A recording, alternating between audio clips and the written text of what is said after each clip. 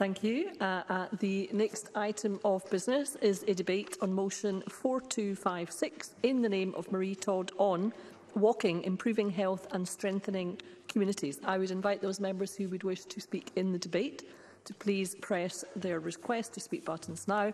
And I call on Minister Marie Todd to speak to and to move the motion uh, around seven minutes, please, Minister. Thank you, Presiding Officer. Um, It's my pleasure to open today's debate as Minister for Public Health, Women's Health and Sport to celebrate National Walking Month and to discuss how walking and wheeling plays a huge role in improving the health and well-being of the Scottish people. This government is committed to delivering a more active nation. We've pledged to double the investment across sport and active living by the end of the Parliament, and we've made record levels of investment in active travel ensuring that everyone has the opportunity to take part in walking and wheeling is central to our vision. Being active really is the best medicine, helping to prevent many illnesses and diseases, including heart disease, stroke, diabetes and a number of cancers, as well as benefiting our mental health and helping us to maintain a healthy weight. Walking and wheeling are the easiest and most accessible form of physical activity for most people. And yet there are loads of pressures in our society which lead us towards less active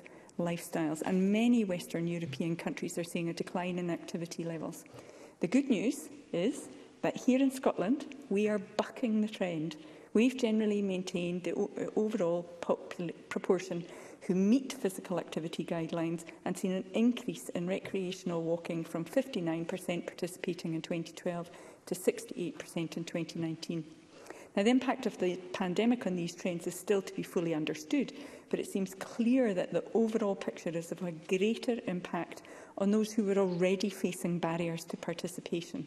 For example, we know that deconditioning amongst older people has the potential to cause long-term issues around increased frailty. We're determined to focus even more strongly on the need to address inequalities in our recovery from the pandemic. Our additional investment in active living will target health inequalities across the spectrum of sport and physical activity. For walking and wheeling, we've increased our financial support for Paths for All, who will increase the number of health walk projects in Scotland and activity with disadvantaged groups and communities, as well as leading a refresh of the national walking strategy. Alongside this investment, the increase in the active travel budget to £320 million by 2024-25 will accelerate progress towards our ambitions for Scotland to be an active nation and our commitment to reduce car kilometres. These strategic ambitions become reality on the ground through the efforts of a huge number of highly motivated and skilled people right across Scotland who are helping to enable and support people to be more active more often in schools, workplaces and communities. It's always a great pleasure to celebrate the hard work and innovation that the people of this country are capable of and there is no better example than the Daily Mile, an idea that was born in Scotland and has spread throughout the world.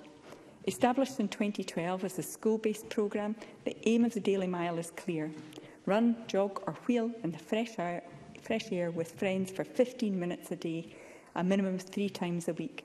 And doing so has been proven to improve the physical, social, emotional and mental health and well-being of our children, regardless of age, ability or personal circumstances. And one recent study has also suggested that it helps with children's memory and cognition. So it's made them more clever. As I'm sure you all know, I'm a huge advocate of the Daily Mile And I always prioritise my day to allow myself the time and space to get outdoors and exercise in the fresh air, and I thoroughly recommend it to everyone. Only last week, I attended the Daily Miles 10th birthday event in Dundee, where I participated alongside almost 800 schoolchildren in completing the Daily Mile to celebrate the evolution and the positive impact the Daily Mile has had over the last decade in Scotland. With over 164,000 children and young people currently participating in the Daily Mile from over 900 schools across 32 local authorities, that's all the local authorities in Scotland, it, eh, we are leading the way to improving health and well-being of our future generations. We're on track to becoming the first Daily Mile nation by, in the world by the end of 2022. In encouraging people to walk and wheel more, often we have particular advantages in Scotland. We have a truly unique natural environment which can be a huge asset to our health and our well-being, and we want to ensure that this is as accessible as it can be. Our Green Health Partnership programme is supporting and encouraging people to be more engaged with nature and the outdoors. Um, certainly. Edward Langton. Uh, th thank you, Presiding Officer. Thank you, Minister. Uh, I agree with you, going for a walk is probably one of the, the greatest things that you can do. I wonder, Minister, if you agree with me that in 2005 local authorities were committing uh, £16.5 million pounds a year uh, to help outdoor access uh, facilities, maintain them and also provide rangers. It's now dropped to 11 million. And we have five local authorities that have no budgets at all for outdoor access uh, within their uh, their own budgets. Do you not think it would be a good idea for local authorities to buy into it in the same way that the Scottish Government is? And will you give them the funds to do so, Minister? Minister.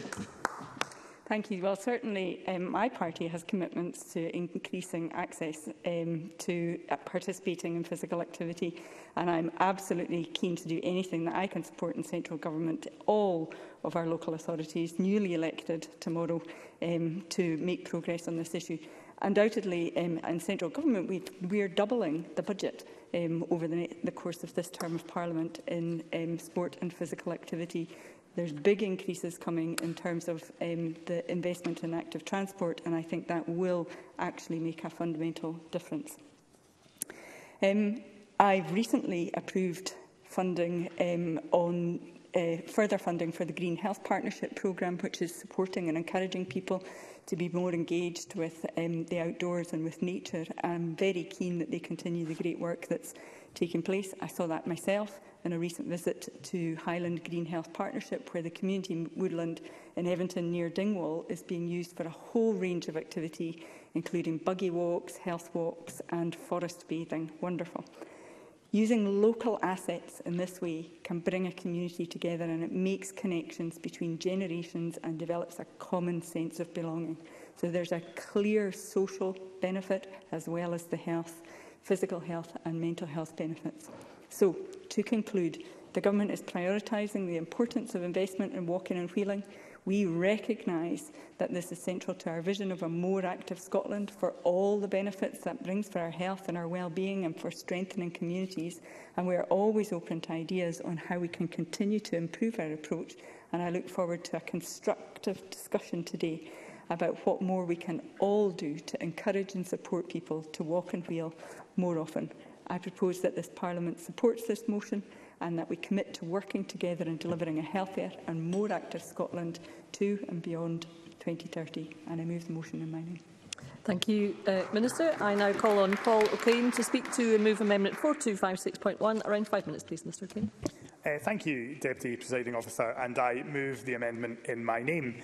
This debate is extremely important as we mark National Walking Month, and I think we should take some time to thank all the organisations who have engaged and briefed ahead of our debate today, particularly Path for All, Sport Scotland and the Scottish Rights of Way and Access Society. I think their engagement in this debate and more widely on the issue of walking across Scotland is hugely important and they make a vast contribution. I also think we can start with that degree of consensus uh, today around the vital importance of getting out walking or wheeling and the improvements that that simple activity can make to our physical and mental health and well-being. I'm sure, like me, members across the Chamber uh, perhaps uh, rediscovered what it is to take time to walk or wheel during the lockdown periods over the past two years. So many people uh, found huge benefit in going out for that daily walk or wheel, whether in our beautiful countryside, beside our lochs and mountains, in our urban parks or along canals. In many ways, people, I think, rediscovered the joy of what was around them and saw huge benefits for their health and well-being. We know from evidence that a 20-minute walk can reduce the risk of a number of preventable health conditions, including certain cancers, depression, heart disease and type 2 diabetes. Supporting people to be physically active is vitally important in our public health uh, mission here in Scotland, and active travel is vitally important to improving health inequalities, meeting our climate targets uh, and relieving pressure on the NHS. Not just walking, of course, but associated activities like running and cycling all have an impact and must be supported. The National Walking Strategy is, of course, hugely important in encouraging people to walk, And having been uh, originally launched in 2014, I hope the Minister will say uh, more about um, its refresh and update, particularly as we recover um, from COVID-19 and people hopefully sustain that level of activity, because there are many strong recommendations within it. Uh, and I think it points to the work we still have to do, uh, with local authority figures from 2019 showing that the proportion of trips made on foot uh, ranged from 39% in Dundee to just 11% in East Renfrewshire. And hailing from East Renfrewshire, it is clear that we need to do more uh, locally and nationally to get those numbers up. The other key recommendation in the strategy, of course, is that there must be uh, better quality walking environments with attractive, well-designed and managed built uh, and natural spaces for everyone. Which brings me um, to our amendment today, Whilst many people, as I've said, in our communities rediscovered walking in the lockdowns, they also discovered that paths were often inaccessible or covered in litter, that too many pavements are cracked and broken, and that too many parks were dark, unlit and unsafe to go, particularly for women on their own. And councils are struggling to keep up with repairs, and it is becoming harder and harder to sustain attractive, well-designed and managed areas for walking, wheeling and cycling. The truth, presiding officer, is that the government has cut £6 billion from local authority budgets since 2013, and right now there is an eye-watering outstanding roads repair bill of at least £1.7 billion pounds accumulated under this government, making an already dangerous conditions worse, and that's before we even come to pavements. People won't walk if the infrastructure is not there to support them. And understandably, cash-strapped councils have been faced with having to prioritise other issues. And this, I think, has had an adverse, an adverse impact in our most deprived communities, limiting the options for people to get out and take the most cost-effective form of exercise. We on these benches have called for an increase in active travel spending uh, to 10% of the overall transport budget, giving priority to encouraging and enabling, enabling people to get out of cars, onto bikes and walk more, benefiting their health uh, and the health of our communities. We've also called for additional measures to improve women's safety including the pilot of physical space safety audits and providing planners with guidance on how to make communities safer. And that brings me, of course, um, to not just walking, but to cycling, uh, which we believe is a key component of the wider active travel agenda and is highlighted in our amendment. In last year's election, the SNP promised free bikes to all school-aged children who can't afford them. In August 2020, the Greens called for all children from low-income families to receive a grant towards bikes and helmets to get to school safely. But 18 months on, only 238 bikes have been given out, and the government doesn't even have the stats on how many children are using these pilot schemes. I, I think the I'm member is about to conclude. My last seconds. Uh, a case of something perhaps looking good on a leaflet but not being delivered in reality. Presiding officer, walking, wheeling and active travel are paramount for our health as a nation and our sense of well-being. But to encourage more people to get out and about and get active, particularly in our most deprived communities, we must do more. And further cuts to local government services and infrastructure will hinder, not help. Thank you, Presiding officer. Thank you. And I now call on Brian Whittle, uh, who is joining us remotely. Around six minutes, please, Mr Whittle. Uh, thank you, uh, Deputy Presiding Officer, and apologies uh, to the Chamber for not being there in person. Um, I am delighted to open this debate on behalf of the Scottish Conservatives. Can I also thank the many organisations who took the time to send in their briefing documents uh, for this debate? Of course, uh, Deputy Presiding Officer, as you would expect, I am a great supporter of any form of physical activity, and walking uh, uh, is what I would term uh, the ultimate low entry option for increasing physical activity or even beginning uh, the journey to a healthier lifestyle. And by that I mean the financial cost of participation is very low, and being physically active is one of the best ways of ensuring good physical and mental health. And although we cannot completely negate the possibility of becoming unwell, physical activity can help to stack the cards in our favour and, of course, help the recovery process from illness. It can help to prevent heart disease and strokes and diabetes, some cancers,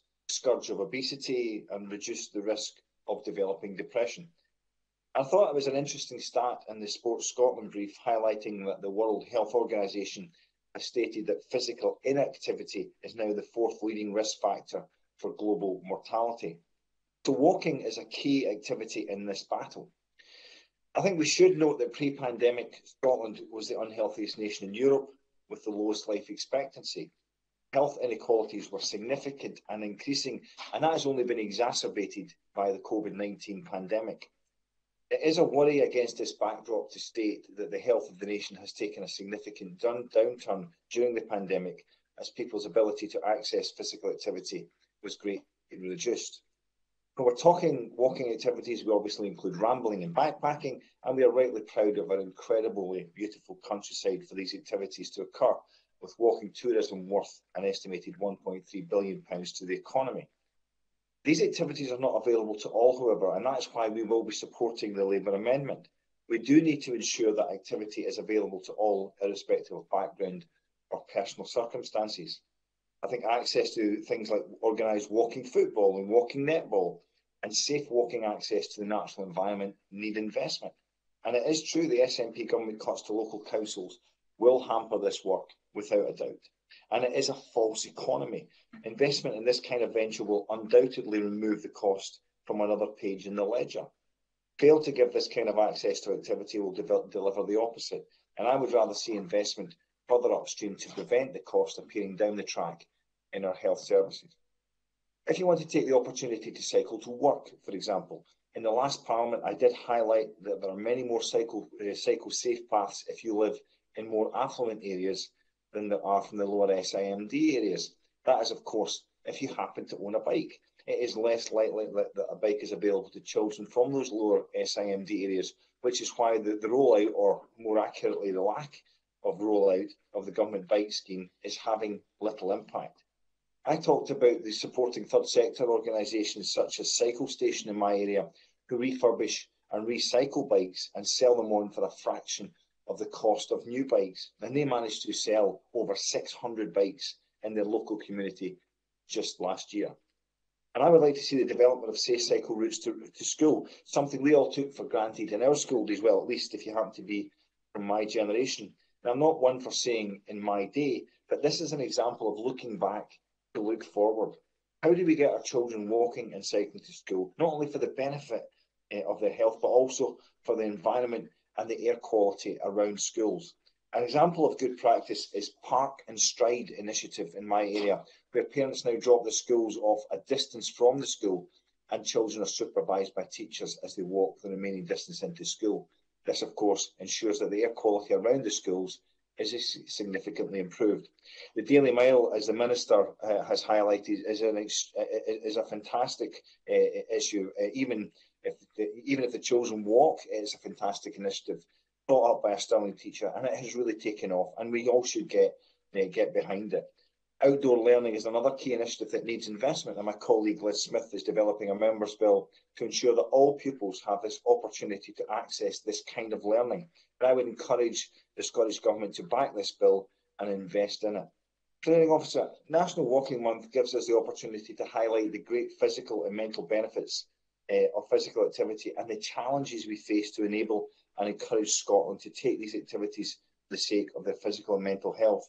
And while we can be rightly proud of Scotland's natural beauty, where walking and cycling in the countryside, we most certainly cannot be patting ourselves on the back given the health challenges that remain in Scotland, the huge inequality of access to physical activity and the subsequent health inequalities that stubbornly exist and grow. I would ask the Scottish Government to accept these challenges and take a long-term planning and investment way beyond any parliamentary term.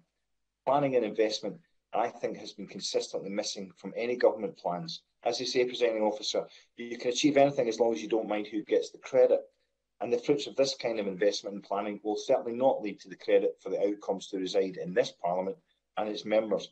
But surely a long-term plan to improve the health of our nation is worth putting political differences aside and working together for better outcomes for Scotland and presenting officer, outcomes are all that matter.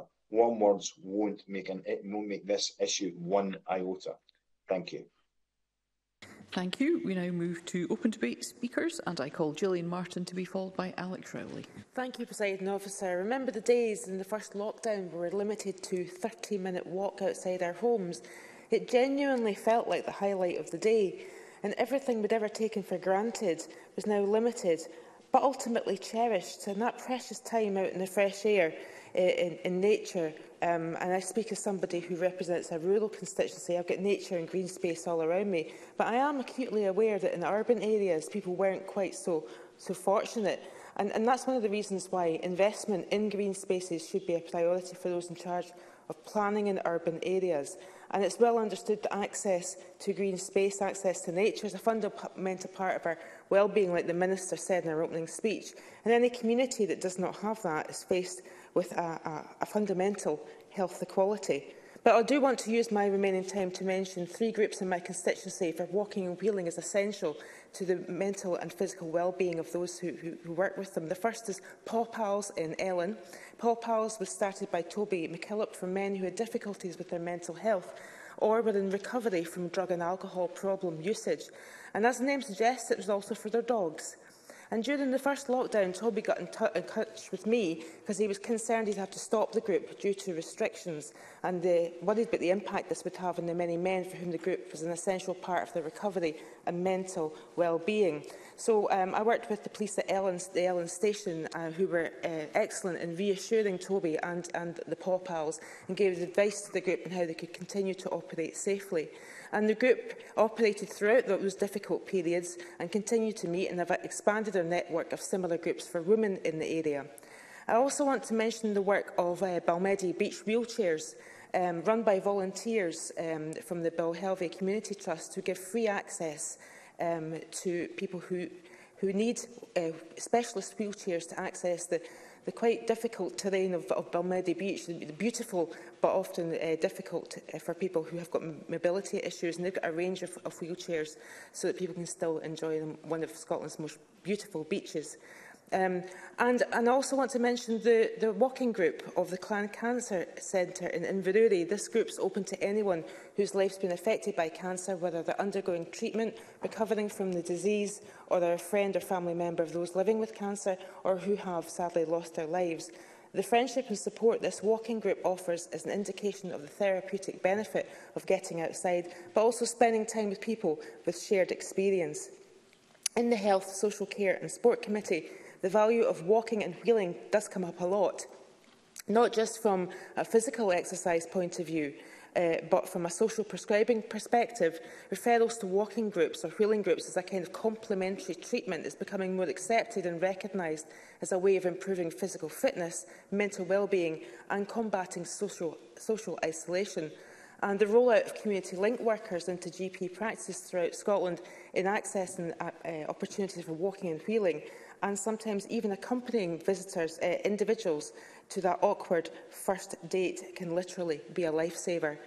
Presiding officer, I've said before uh, in this chamber, in the last session, how much I cherish my walk into this parliament every day, 25 years of having no option but to drive uh, with all the other people into Aberdeen City has made me extremely grateful for the opportunity and I am convinced that my mental health is all the better from my twice daily walk across Hollywood Park admiring the community's many dogs. Um, if we are all continue to take that half an hour walk that we cherished in 2020, what would the impact on our well-being be as a nation? Significant, I'm sure. Thank you. Thank you. I call Alex Rowley to be followed by Graham Day. Thank you, President Officer. I'm pleased to speak in this debate that recognises National Walking Month. we have had a number of briefs for this debate today that all evidence the massive advantages and health benefits of regular exercise and walking is one of the most easiest and relaxing forms of exercise. As Ramblers Scotland say, walking also helps to prevent many illnesses and diseases and they also point out the economic function in terms of tourism. Key to this debate for us as politicians is how do we encourage people to walk more and what action can we take to support people to walk more. Government has a role to play, but I would want to first highlight some of the good practice out there where people are supporting people and coming together to make things happen. The Facebook group, Scottish Women's Walking Group, is an, an excellent example, providing support, motivation, overcoming isolation, providing friendship and general guidance as the platform for organising groups and walks. There are many groups like this, the length and breadth of the country, run by volunteers, and I do believe the impact they are having is immense. So I would make the point that we really need to talk to and listen to these groups and their members as they have more first-hand experience and expertise than many in this chamber. That said, there are many things that we as a policymakers can do to support these groups. I believe local authorities are key in terms of new infrastructure, but also in the maintenance of existing infrastructure. Poorly maintained paths, walkways and the state of pavements are all important as is getting people out of their cars, and that also requires better public transport alongside access to safe and well-maintained routes. I'm afraid that the persistent cut to council budgets has had a devastating impact on all of that and while it is fine to speak in the motion about doubling the funding, it will not make up for the impact of the cuts to local councils. I was surprised to read from Pass for All that amongst younger people, the Scottish Household Survey revealed that walking as a physical activity dropped dramatically in the 20% most deprived areas to just 66% compared to 89% in the 20% least deprived areas. And in those deprived areas, 29% of adults did not participate in any kind of physical activity. These are the kind of challenges facing government at every level if we are to improve the levels of walking in Scotland and indeed the levels of health from social prescribing to getting the right support to local community groups will be the key. Joined up thinking and joined up working we can do and we can be better at. So my challenge to the ministers would be how are we actually going to do that? So how are we going to ensure that government is joined up? Social prescribing, for example, is something that's talked about. But how are we actually going to move to work with GPs, to work with NHS boards, to actually talk about what does social prescribing mean? And indeed, how can we support or how can the government support health boards right down to GPs to health practices to actually deliver Those are, I believe, the kind of steps. But I would want to finish where I started. Some of these groups on social media, and I've talked to constituents who tell me they are the lifeline. They are the support. They bring people together. They get people working. So let's also talk to them and work with them for a healthier Scotland. Thank you. Thank you. Called Graham Day to be followed by Gillian Mackay. Uh, thanks, President Officer. Uh, for our own health and well-being, not to mention the good of the planet, we all of us need to give walking and wheeling greater priority in our lives. But how each of us buys into the aspirations of National Walking Month and the government motion will differ from person to person. As a former Transport Minister, I've been particularly keen to rise to the 20% cut in car kilometres challenge. I found having days when the car sits parked up is easy so to, reduce, uh, so to reducing some avoidable vehicle journeys. Actually cutting the overall kilometres, particularly when you are an MSP for a rural constituency um, in favour of walking, is, to be honest, more difficult. It's fair to say, for me, this remains a work in progress. As far as walking more per se is concerned, being gifted a step-counting watch by my daughter a year past January has proved a significant motivation. Some might say I've become obsessed. I'll leave others to judge. But if it assists colleagues in coming to a conclusion on that, let me share the following. By election day last year, my average daily step count was sitting at 16,500, albeit with the end of the campaign that dropped, dropped off a bit to an average for the year of 13,150, and currently for 2022 it stands at 14,458. Not that I'm counting, you understand. Walking to and from Parliament where possible when here contributes to cutting down using the lifts in this place all helps. So too right now, of course, does election campaigning. That will be the case for all of us. However, Presiding Officer, while supportive of others doing it, I can't claim to be an avid walker of distances for recreational or exercise purposes. Well, not unless you count pounding the golf course. Mark Twain once famously described golf as a good walk spoiled. I tend to view lengthy walks as a dull substitute for hitting a wee white ball around a golf course. I'm one of those people who'll spend three and a half hours walking the golf course in a heartbeat, but wouldn't dream of committing even a third of that time to walking just for the sake of it. And I won't be alone in finding my own way of buying into the health and well-being asked to be made of all of us here. and I would just urge that we recognise and respect the fact that different people will get walking in different ways. It's absolutely right, President Officer, that we promote walking for the health and climate change reasons that we all know about. But we should also acknowledge that people will come at this from entirely individual perspectives. And golfers, particularly older male golfers, for the record older than me, are a case in point. Many in their late 60s or 70s wouldn't dream of going for a walk as such. In fact, they wouldn't think they were capable of walking distances but once, twice, maybe three times a week, they'll head for the golf course where, depending on how much time they spend searching the rough uh, for balls, they might be clocking up 11,500 steps or circa five miles without noticing it, staying fit and active as a result with the multitude of benefits that brings. Presiding officer, having made uh, this vested interest plea, I freely admit this, uh, let me conclude by focusing briefly on the Labour amendment and a fundamental flaw within it. The fact is that it would be impossible to give every child requiring one a bike by the end of 2022, not because the will isn't there, nor the fact that the pilot projects don't report before August. The reason simply is that there has been, and I believe to an extent still is, a global shortage of bikes and bike parts. So the amendment's concluding demand actually cannot be met and as such it should be rejected. So please support the government motion but oppose the amendment. Thank you, President Officer. Thank you. I call Gillian Mackay to be followed by Karen Adam. Thank you, Presiding Officer.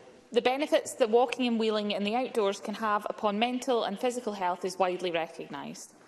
No doubt this was impressed on all of us during the pandemic when we were not able to exercise and explore the outdoors as we usually would. It is worth noting in this regard that we're very fortunate to have the amount of green space in Scotland and that we have the right of access to most land and inland water since the introduction of the Land Reform Scotland Act in 2003. It is vital that these rights are protected and upheld so that everyone can continue to benefit from Scotland's rich natural environment. I was proud to see the announcement of at least one new national park for Scotland as agreed in the Butte House Agreement between the Greens and the Scottish Government as one of the many ways in which we recognise the importance of experiencing and exercising within nature as part of people's well-being. People who spend quality time walking and wheeling in nature are happier and more likely to care about the local environment and climate change. Walking can also widen access to sport. Many sporting bodies have created walking versions of their sports, such as walking football, to encourage more people to take part, regardless of their age and fitness level. This can help to tackle social isolation as well as help people to get or stay active. Recent data published in the Scottish Household Survey has shown that walking has grown in popularity, and that's not just with Graham Day and his obsession with his Fitbit. It's encouraging to see that the survey found 89% of respondents aged 16 to 24 were likely to take part in walking as a recreational activity. Of those surveyed who had a disability, 61% regarded walking or wheeling as their most common activity. However, the survey also revealed stark differences in regards to areas of deprivation finding that physical activity dropped 20% in the most deprived areas to 66% compared to 89% in the least deprived areas. This must give us pause to reflect and ensure that public spaces and the natural environment are welcoming to all. As I've said, the mental, the mental and physical health benefits of walking and wheeling outside are well known. Like Gillian Martin, meeting many of the dogs around Calendar Park in Falkirk undoubtedly boosts my mental health. But if people do not have a space or route nearby where they can walk or wheel while feeling safe and free from heavy traffic, pollution and blocked pavements, they will simply not do it. We have much work to do before Scotland's streets are truly accessible.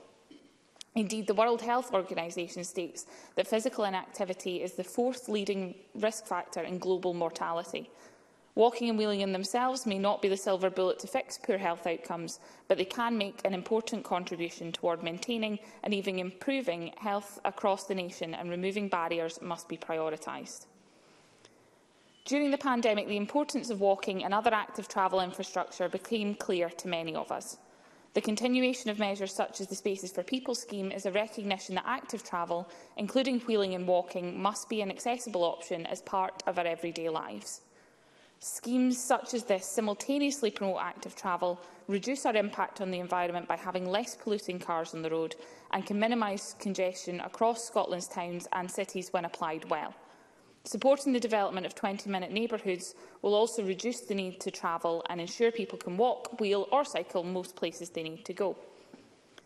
Going forward, we must prioritise measures such as reallocating road space to people and supporting the creation of low-traffic neighbourhoods so that walking, wheeling and cycling are accessible, practical and significantly safer.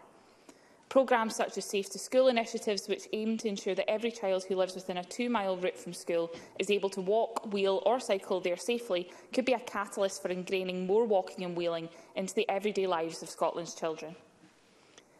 In conclusion, presiding officer, this National Walking Month, it's important that we acknowledge and celebrate the many benefits that walking and wheeling can have to our mental, social and physical health, because there are many.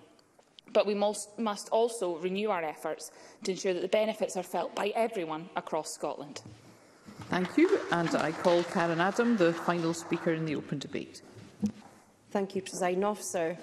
As previous speakers have stated, the pandemic restrictions certainly highlighted the desire for human beings to connect, not just with each other, but with our nature and surroundings. Once being just a path we used to get from A to B became much more than a route, but a space for contemplation. For once we didn't just put one foot in front of the other, but we looked up and around. We breathed in the air and noticed seasonal changes more pronounced than before, We saw signs of wildlife and appreciated what we perhaps took for granted, all because we were forced to slow down and confine ourselves to actually see what we had around us, a connection to place. Many in the professional field of mental health speak about the disconnect which occurs during poor mental health moments. The connection not just to people but to place can have enormous benefits to reconnect and ground us. Many of us might be familiar with the technique to calm down during anxiety attacks. This is the 54321 method. Five things you can see, four things you can touch, three things you can hear, two things you can taste, uh, sorry, two things you can smell and one thing that you can taste. And this is a fantastic way to connect while out walking for anyone. And there's one thing you can certainly taste when walking by the coastline, and that is the salty sea air. For those around the coast, like in my constituency of Bampshire and Bucking Coast, our outdoor space became more important than ever these last two years, and this enhanced relationship is set to continue, motivated by these triggers, a real connection. I'd like to share a very practical illustration of how walking coastal trails, the paths that align our beautiful coastlines, can be a hook for motivating and empowering local communities. In my own constituency, one such project developed is Coast Aberdeenshire, which builds upon the concept of coastal paths, and it is indeed about walking, but it is so much more than that. From Logie Head, Cullen to Peterhead and stretching about one mile inland along the north east coast, this project provides support with a dedicated council team to empower local communities, joined up working with council services and specialisms. Council staff with a dedicated officer group which facilitates connections with support for organisations and advice for help in funding applications where appropriate. All of this encourages community groups to identify a route or related project that support local commitments to take ownership long-term, developing, repairing, maintaining and promoting. Like every any aspect of walking, this is ultimately about reconnect, reconnecting, exploring and understanding but it is also about a local community looking after our history, our coastal environment, and thus emboldens the sense of community and connectivity. Walking can play a key role in our future and survival of our towns and villages, our businesses, our arms and estates, taken in wild land and shoreline. The potential for tourism to our coastline is vast, for visitors near and far. Not only do we get to show off our stunning landscape and shoreline, but we benefit from the economic benefits that tourism brings. In conclusion, Presiding Officer, as well as that very local connection to place, with international travel restrictions, we saw a huge increase in what many call a staycation, which during my childhood, my grandad called it Costa del Baque. It was his running joke every summer. With ageing wisdom, he saw what he already had around him. And I want to take that wisdom and apply it in a broader sense to my constituency. Urbakis. Bakis, they can extend miles beyond our fences.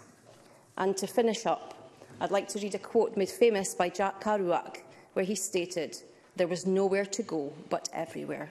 Thank you. Thank you. We now move to closing speeches and I call on Paul O'Kane. Up to four minutes, please. Uh, thank you, Presiding Officer, and I'm pleased to close this debate on behalf of um, Scottish Labour Party. Uh, I, I think we have found uh, consensus in today's debate, uh, and I do believe that uh, we are committed across the Parliament to improving and enhancing uh, the uptake uh, of walking across Scotland. And I think we've heard many strong examples, I think particularly from the lockdown periods, where people uh, have rediscovered the joy of walking, as I, I spoke about in my opening remarks. But I do believe uh, that we have to be honest about the barriers that exist uh, and indeed the work that still requires to be done in order to make sure that uh, the activities of walking are as accessible to all. And it is in that vein that we offer our amendment. Uh, and I want to note the contribution of um, Brian Whittle and Edward Mountain in his intervention in that regard, particularly, I think, in terms of Uh, not only the cuts I think that local authorities have experienced in terms of budgets for place and space, but also I think things like the role of walking coordinators, outdoor access officers and countryside rangers, which are often the first things to go when there are decisions to be made. Uh, and I do, at this stage, presiding officer, want to return to the importance of safety measures uh, for people who are, who are vulnerable, particularly in our urban communities where parks uh, and canal routes are, are often uh, dangerous, particularly uh, for women. And, and we have called for additional uh, safety measures to improve uh, particularly women's safety. And I spoke in my opening remarks about the importance of piloting physical safety space audits. But I think it goes further than that. I think we need to provide planners with guidance on how to make communities safer uh, including safe walking routes, particularly in those urban communities and in new estates across Scotland. Uh, I think that Gillian Martin and Gillian Mackay, my colleagues in the Health Committee, uh, made important points about the importance of walking related to good mental health. Uh, and it is good to hear what is being offered in different parts of the country. And I was particularly taken by the examples that Gillian Martin shared particularly when there are dogs involved. And I know that uh, Gillian Martin is a dog lover, uh, as am I. But I, I think something that's key in all of this is that we need to support our third sector, and we need to do that in a sustainable way. And many third sector organisations are struggling to uh, maintain these services that are often free of charge to the public. And I think my colleague Alec Rowley uh, made excellent points in, in that regard, because if we're going to get the walking strategies right and we're going to encourage a broader uptake of walking, then we have to listen to the groups who are supporting walking day in and day out uh, across our country. And for me, that is about um, sustainable funding that can help them to uh, expand and to grow the services that they offer. And we on these uh, benches want to see our active travel budgets more widely put towards assessing and developing safer routes in combination with using that planning system uh, to increase, uh, to ensure less car use and make residential areas low traffic neighbourhoods by reducing speeds and looking at the volumes of traffic whilst also maintaining local access for those who need it. Uh, in terms of Graham Day's contribution, uh, the former minister, I, I did enjoy the majority of his contribution. I am not a golf fan, I confess. Um, but I, I, I did enjoy his contribution, particularly in regards of the campaign uh, trail and the steps that he is achieving. I think perhaps in future elections, presiding officer, we should have a competition between members in this chamber to see who can do the most steps. Um, I will say, though, given his comments on the shortage of bikes, it would be helpful to know why uh, the Free Bike Pledge has appeared in the manifestos of the SNP and the Green Party. And I believe that neither pledge actually featured in the coalition agreement, so it would be good to understand, if not now in terms of free bikes and provision of access to bikes, when?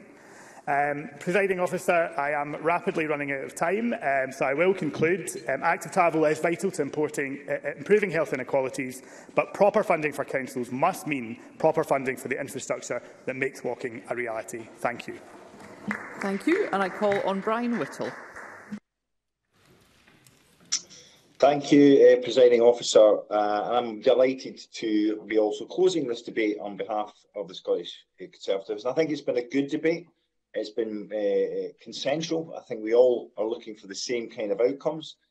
I think the benefits of physical activity have been well made across the chamber. I think that is, as I said in my opening uh, remarks, this is against the backdrop of a, a, an unhealthy nation, Scotland being the unhealthiest nation in Europe, and also against increasing health inequalities. And I think all these things have been exacerbated by uh, the COVID-19 uh, pandemic we've talked about physical activity and how it allows that interaction, and that interaction uh, is to the benefit of our mental health. We encourage participation in activity and sport, not necessarily to produce sportsmen and women, but more to educate through activity and sport.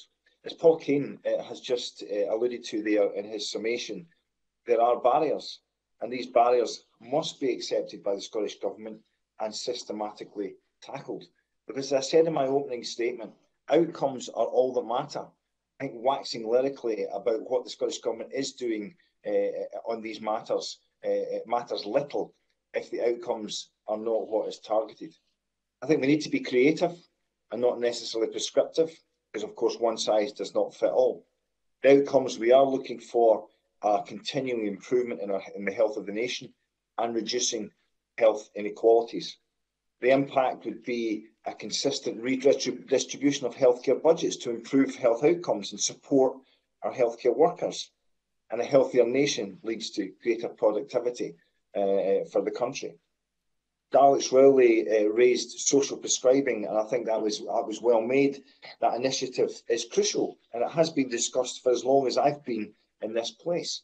I don't think we are any nearer developing a national strategy uh, that will require that will require a, a, a investment in technology and, and IT to allow a connected system for our GPs.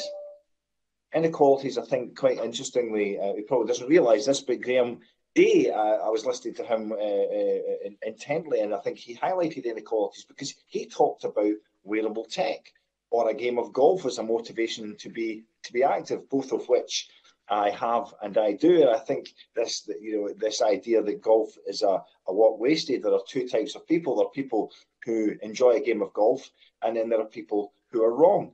And I would be delighted if, Mr. Day fancied the game because I think golf is such a great, great way of getting out and being active. Um, but of course, these take money, and that's where inequalities kick in. And he also mentioned bike parks, which is something I, I was I was looking at the other day, and I think Graham Day's right there, and I agree, uh, especially if you couple that with, with skate parks. These are a great way to encourage youngsters into activity, but they take investment. Physical, physical activity is an outlet when you're stressed. And I'm, I've been lucky to have that tool uh, all my life. Um, we must ensure that that is available to all, and it will take investment and the political will. Presiding officer, it's time we made this kind of priority across the chamber. I don't think this is a political statement. I think that currently, as I said uh, in my, my opening remarks, we have a really unhealthy country and an increasingly unhealthy country. You know, we, we, we have um, life expectancy that is way behind where it should be. And, and, and it's just, that's not a political point. We have to accept that is the case. And then only by accepting that will we be able to take the steps that are required. This is this is this is investment in our future. This is this. I, I think not to invest in, eh, or, or to try and save money in this area, as I said before, is is false economy. We need to start moving our investment further upstream to prevent these health uh, health issues and health inequalities. And I think uh, it's not surely not beyond this chamber to come together and look at the solu solutions that would be to the benefit of our country. Presiding officer. Thank you. And I now call on Patrick Harvey to wind up. Up to six minutes, Minister. Thank you very much, Presiding Officer. And can I thank all, all members who have taken part in this debate? I, I'm told that it's uh, possibly the first time the Parliament has debated walking specifically. Uh, and if that's true, it, it might be because for most of us, for most of our lives, walking is perhaps something so casual, so natural that maybe it doesn't even need to be discussed. But I think the The views that have been expressed around the chamber here today show that it does need to be discussed uh, and there's great value in this debate. Uh, I don't know if it's entirely a coincidence uh, that this debate on National Walking Month is coming at the end of what we all know as National Canvassing Month. Graham Day made that, that connection, uh, and like him, that's what's keeping my step count up at the moment. Uh, other members have talked uh, very beautifully about the extraordinary landscapes and the, the places that they're walking through uh, out on the election campaign trail. Most of the views that I've had have been of the, the tiles and windows in Glasgow tenements. Uh, beautiful though they are, uh, I'm hoping to get a little bit of a change uh, over the summer and see some more of the country myself.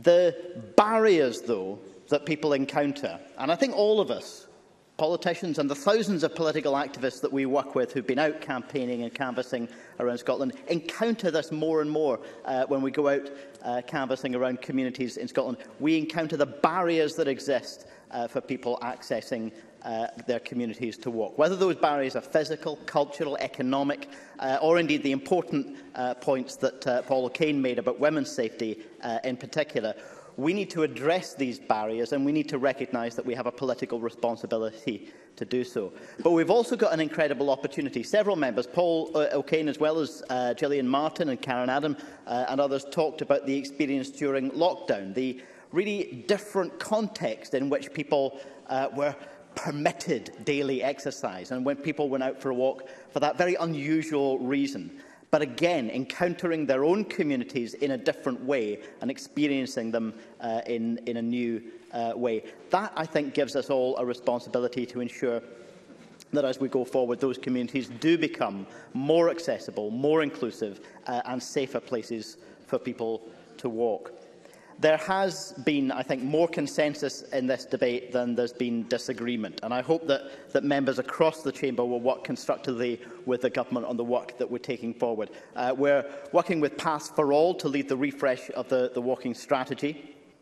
And I think, uh, in keeping with, with what several members have said, I think there's real scope for connection of that strategy, not seeing it as a document in isolation, but seeing how does it connect to the government's other strategic objectives, whether that's around health, physical health, mental health, issues around loneliness and isolation, whether it's around climate, uh, the need to, to cut car kilometres by 20%, uh, whether it's around the reinvigoration of our local economies as they recover uh, from the pandemic. And I think that uh, that cross-cutting approach is uh, very much in keeping with some of uh, what Alex Rowley and others were talking about, having a, a joined-up approach uh, to this issue. Uh, I hope uh, Mr O'Kane will uh, acknowledge that we won't be supporting uh, his amendment today. Uh, notwithstanding, we'll, we'll continue to have disagreements about wider local authority funding. We believe that we've protected local authority funding uh, significantly other opposition parties will, will say we haven't done enough for that. But on active travel, there's simply no question that we have dramatically increased uh, the direct funding to local authorities on active travel, not just what we spend from the Scottish Government. The uh, uh, increase uh, in the Cycling, Walking and Safer Routes grant in this year has uh, gone to £35 million. That's a £10 million pound increase in one year alone, uh, as well as the, uh, the, the work that we're doing with Sustrans on the Places for Everyone programme uh, and other funding streams and the work that uh, Marie Todd mentioned uh, around the increased funding that's coming through sport and active living budgets as well. So there is direct funding to local authorities allowing them to take this work forward. And on, in relation to free bikes, the free bike pilots, I, I genuinely am sorry uh, to hear that very clear and repeated public commitments from the Scottish Government uh, somehow haven't been acknowledged. The pilot schemes that we committed to were up and running within the first 100 days as promised. They'll be evaluated later this year as promised. And they need to be. We do need those pilot schemes to evaluate a wide range of issues. Graham Day was right about the, the issues in the supply chain, not unique to Scotland, but certainly issues that we need to overcome uh, and understand. But a wide range of other issues as well. If we're looking to ensure that young people uh, who uh, maybe for whatever socioeconomic reasons, whatever their background, they need to, to have access uh, to free bikes, and they, uh, they need our support to do that.